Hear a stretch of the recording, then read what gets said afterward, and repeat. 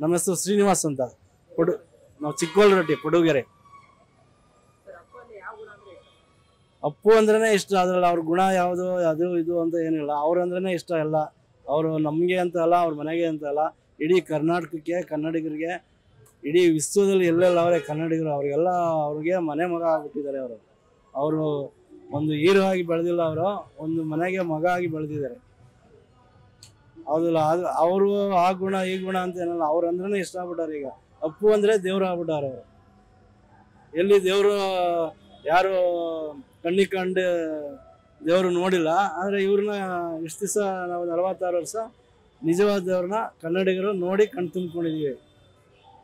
ಎಲ್ಲ ನಲವತ್ತಾರು ವರ್ಷಕ್ಕೆ ಯಾಕೆ ತೀರೋದ್ರು ಅಂತಾರೆ, ಬಸವಣ್ಣವ್ರು ಆಗಿರ್ಬೋದು, ಸುಭಾಷ್ ಚಂದ್ರ ಬೋಸ್ ಆಗಿರ್ಬೋದು, ಗೌತಮ ಬುದ್ಧ ಆಗಿರ್ಬೋದು, ಸ್ವಾಮಿ ವಿವೇಕಾನಂದ ಆಗಿರ್ಬೋದು ಅವರೆಲ್ಲ ಇದೇ ವಯಸ್ಸಿಗೆ ಸತ್ತಿರೋದು. ಇವರು ಅವ್ರಿಗಿಂತ ಹೆಚ್ಚಿಗೆ ಸಹಾಯ ಮಾಡಿ ಒಳ್ಳೆಯದಾಗಿ ಸತ್ತಿದ್ದಾರೆ. ಇವರು ಅವ್ರಿಗಿನ್ನ ಹೆಚ್ಚಾಗಿ ದೇವರು ಇವರು. ನಮಸ್ಕಾರ. ಪುನೀತ್ ಅವರು ಅಂದರೆ ಈಗ ನೋಡಿ ಡಾಕ್ಟರ್ ರಾಜ್ಕುಮಾರ್ ಅವರು ಯಾವ ಥರ ಒಂದು ಒಳ್ಳೆ ಕೆಲಸ ಮಾಡ್ಕೊಂಬಂದಿದ್ರು ಅದೇ ಥರ ಪುನೀತ್ ಅವರು ಅದನ್ನೇ ಮುಂದುವರ್ಸ್ಕೊಂಬಂದು ಅಣ್ಣವ್ರಿಗಿನ್ನ ಹೆಚ್ಚಿಗೆ ಕೆಲಸ ಮಾಡಿ, ಅವರು ಯಾರಿಗೂ ಗೊತ್ತಿಲ್ಲದಂಗೆ ಸಹಾಯ ಮಾಡಿ ಅನಾಥಾಶ್ರಮಗಳಾಗಿರ್ಬೋದು ಗೋಶಾಲೆಗಳು ಇರ್ಬೋದು ಅಥವಾ ವೃದ್ಧಾಶ್ರಮಗಳಿರ್ಬೋದು ಅಥವಾ ಶಾಲಾ ಕಾಲೇಜುಗಳಿರ್ಬೋದು ಅತಿ ದೊಡ್ಡದಾಗಿ ಬೆಳೆಸಿರ್ತಕ್ಕಂಥ ಅವರ ಅವ್ರ ಅಮ್ಮ, ಅವ್ರ ಅಪ್ಪ ಅವರು ಬೆಳೆಸಿರ್ತಕ್ಕಂಥ ಶಕ್ತಿಧಾಮ ಇರ್ಬೋದು. ಅದಕ್ಕೆಲ್ಲ, ಅವರು ನೋಡಿಕೊಂಡು ಸ್ಫೂರ್ತಿಯಾಗಿ ಅವರಿಂದ ಹೆಚ್ಚಿಗೆ ಮಾಡಿ ಅತಿ ತುಂಬ ದೊಡ್ಡದಾಗಿ ಬೆಳೆದಿದ್ರು. ಅವ್ರಿಗೆ ಯಾರಿಗೂ ಗೊತ್ತಿಲ್ಲದಂಗೆ ಚಿಕ್ಕದಾಗೆ ಇದ್ದರು ಅಪ್ಪು ಥರನೇ ಇದ್ದರು ಬಟ್, ಅವ್ರದ್ದು ಎಲ್ಲ ತೀರ್ಕೊಂಡ್ಮೇಲೆ ಅವ್ರಿಗೆ ಗೊತ್ತಾಗಿದೆ, ಅಲ್ಲಿವರೆಗೂ ಗೊತ್ತಿರಲಿಲ್ಲ. ಇದು ಜೇಮ್ಸ್ ಸಿಲ್ವಾ ಅವರು ಇದುವರೆಗೂ ಯಾವುದು ಮಾಡಿದ್ದಾರೆ ಸಿನಿಮಾಗಳು ಅದಕ್ಕಿಂತ ಅದ್ಭುತವಾಗಿ ಮಾಡಿದ್ದಾರೆ.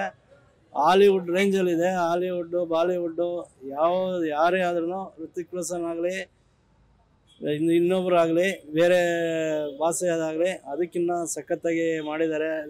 ನಿರ್ದೇಶಕರು ಚೇತನ್ ಕುಮಾರ್ ಅವರು, ಮತ್ತು ನಮ್ಮ ಹೀರೋ ಅಪ್ಪು ಅವರು, ತುಂಬ ಸಖತ್ತಾಗಿ ಮಾಡಿದ್ದಾರೆ. ಒಂದು ಒಳ್ಳೆಯ ಸಿನಿಮಾ, ಎಲ್ಲ ಬಂದು ನೋಡಿ ಹರಿಸಿ ಹಾರೈಸಿ.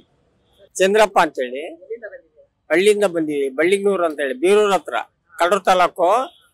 ಈ ಅಪ್ಪು ಎಲ್ಲ ನಮ್ಮ ಕನ್ನಡಿಗರ ಜೀವನದಾಗೆ ಒಂದು ಅಚ್ಚಳಿದ ನೆನಪು ಅವನು ಅವನ ನೆನಪು ಯಾರೂ ಮಾಡೋಕ್ಕಾಗಲ್ಲ. ಇಂಥ ಚಿಕ್ಕ ವಯಸ್ಸು ಇಷ್ಟು ಹೆಸರು ತಾಂಡು ಅವನ ಮೇ ಎಲ್ಲರ ಕನ್ನಡಿಗರ ಇಡೀ ಆರು ಕೋಟಿ ಕನ್ನಡಿಗರ ಮನುಷ್ಯನಾಗಿದ್ದಾನೆ ಅವನು.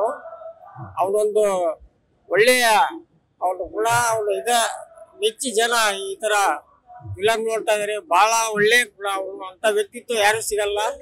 ಅವನೊಬ್ಬ ದೇವರಾದಂತ ಮನುಷ್ಯ ಅಂತ ಹೇಳಿ ನಾನು ಮಾತು ಹೇಳ್ತೀನಿ. ಅವನು ದಾನ ಧರ್ಮ ಮಾಡೋದಾಗ್ಲಿ, ಒಂದು ಮನುಷ್ಯನಿಗೆ ಒಂದು ಅವ್ನ ಮಾತಾಗ್ಲಿ, ಅವ್ನ ನಗುಮುಖ ಒಂದಿದೆಯಲ್ಲ, ಅದು ಒಂದು ಅಚ್ಚಳಿದ ನೆನಪು ಅಂತ ನಾವು ಹೇಳ್ಬೋದು ಇವತ್ತು.